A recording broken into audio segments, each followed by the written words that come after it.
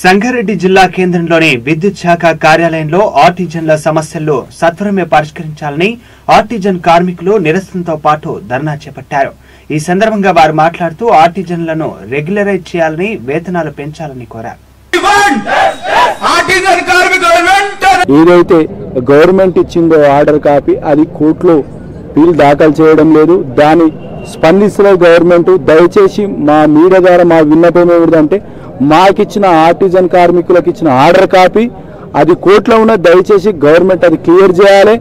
రెండో విషయం కోర్టుల కేసు ఉంది గవర్నమెంట్ అన్న స్పందించాలి యాజమాన్యం అన్న స్పందించి దానిపైన పీల్ దాఖలు చేయాలి.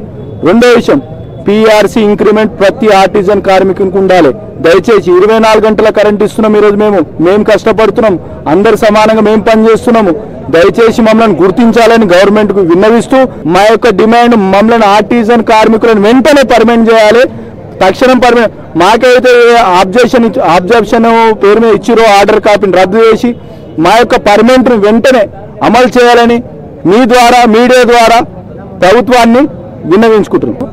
మాకు రేపు జరగబోయేటువంటి కార్యక్రమంలో మీరు స్పందించి త్వరగా ఇది చేస్తే ఈ రాష్ట్రానికి కరెంటు వెలుగులు ఇచ్చిన వాళ్ళమైతాము మేము కనుక ఎక్కడైతే ఈ కార్యక్రమం సమ్మెకి వెళ్తామో మరి రాష్ట్రం అంతా కూడా అంధకారంలో మిగిలిపోతుంది కాబట్టి ఇప్పుడు ఇప్పటికైనా ముఖ్యమంత్రి గారు అలాగే మేనేజ్మెంట్ స్పందించి ఈ కార్మికుల యొక్క సమస్యను పరిష్కరించాలని కోరుచున్నాం.